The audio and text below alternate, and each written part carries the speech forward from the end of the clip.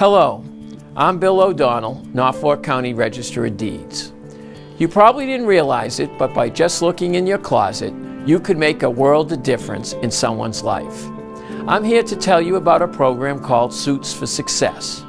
Clothes are donated and collected at the Registry of Deeds. We then work with local veterans and human service agencies to get these donations to individuals in need that are served by these agencies. Whether it's an interview or the first day on the job, we all want to make a good impression.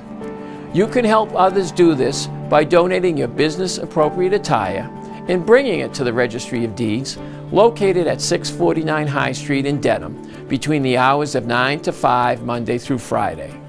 Suggested donations include suits, ties, and dress shirts for men, and blouses, skirts, and pants for women. All clothing should be ready to wear, clean, pressed, and on hangers. If you have any questions about the Suits for Success program, you can call the registry at 781 461 6104 or visit the Registry of Deeds website at www.norfolkdeeds.org. Thank you very much.